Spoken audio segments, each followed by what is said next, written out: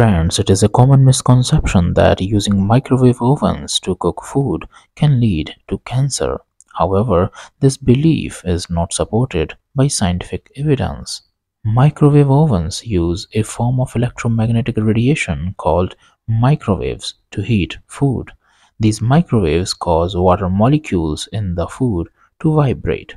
Heat is generated due to vibrating water molecules and food is cooked.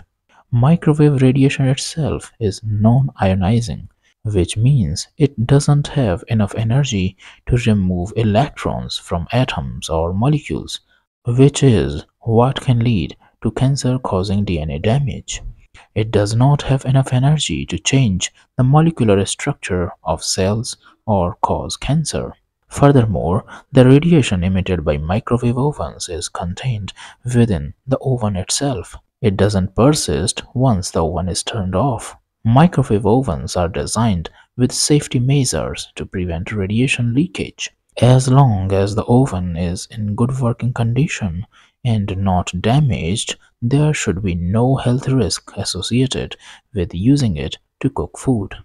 Overall, microwave cooking is a convenient and safe method as long as you use microwave safe containers and follow proper cooking instructions.